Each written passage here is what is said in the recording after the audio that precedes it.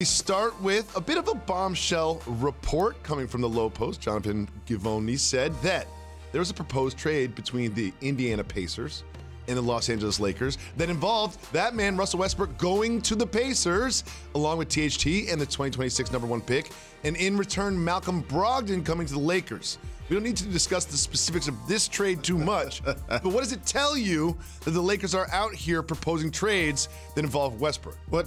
That, that's the obvious. I mean, he's going into a final year of a deal. He's making almost $50 million a year, and their big three fizzled out last year for a multitude of reasons. LeBron played at an all NBA level. AD dealt with injury most of the time, and Russell Westbrook struggled with his field goal percentage and his high turnovers. Mm-hmm. And so that's what leads to the coach being fired, which did happen. So now you bring in a new coach in Darvin Ham. I like what he's doing with his assistant coaches as well. So now you change the philosophy. Can we change the identity of the team because we have around seven roster spots? But when you have these guys making this kind of money, you ain't gonna have much flexibility. You saw what they did last year, and then they got older with that group. That's why you got to now try to get younger with that group. And one of the things, even if you're gonna pair Malcolm Brogdon, for example, with Anthony Davis, both of those guys have something in common. They've dealt with injury these last couple of seasons. Mm-hmm. And so if you're now the Lakers and you're thinking the one thing about Russ, he gonna play every night. It's a good point. And if you stagger his minutes with LeBron, he's going to play well many nights.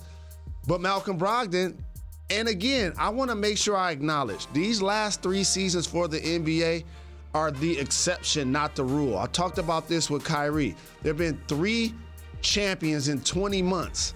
Normally, that's 36 months. That's time for your body to heal and recover. Malcolm Brogdon is one of those guys I believe when the NBA clock turns back normal, he'll be a lot more durable. Now, Anthony Davis has always had injury concerns. That's a different case. So, one of the things about this proposed deal is it gets rid of Westbrook, but it also, the only two real tradable assets the Lakers have are the first round picks that come later this decade and THT. So they're kind of like cashing everything out to bring in Brogdon. And I don't see that this team is Brogdon away from competing for a championship. And another thing I was thinking, oh, wait a second. This could be LeBron's last season with the Lakers. If they have another troubling season like they had last year, if, if, if it doesn't look like the future of the Lakers is successful, is this an audition year for the Lakers to have LeBron long term? Don't, don't don't do this, LeBron. Don't don't don't don't don't make this an audition year. Don't don't don't. I like this. Don't no. Le- LeBron, LeBron. Other than playing with his son Bronny, where he put it out there, that would be a terrific opportunity. Who would turn that down? But otherwise, I think it's best for his legacy in particular, for him to ride it out, good, bad, or indifferent with the Lakers. Oh, so you okay? Counterpoint: Would it be best for his legacy to I don't know go to another team that's a championship contender, maybe get another ring? N- no, because that's not going to be perceived as one that he led the way. And he likely, if he joins another situation, that means they already have a star player. They already have a go-to mm-hmm. player. So what you want to put him on the Warriors now? Is that what we doing? I'm not naming teams at the moment. Okay, I'm, I'm just. I'm not naming teams. Just, I, I, wanted, I wanted license plate numbers. You know, we but talking I'm just about saying, if, if, they don't make okay. the play and Anthony Davis is hurt again, you expect LeBron James to be like, you know what? Let's run this back for a third straight. I I expect him to feel like they got me. People want to come play with me and us.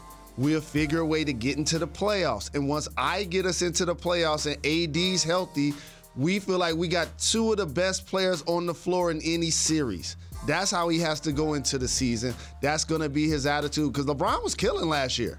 Oh, yeah.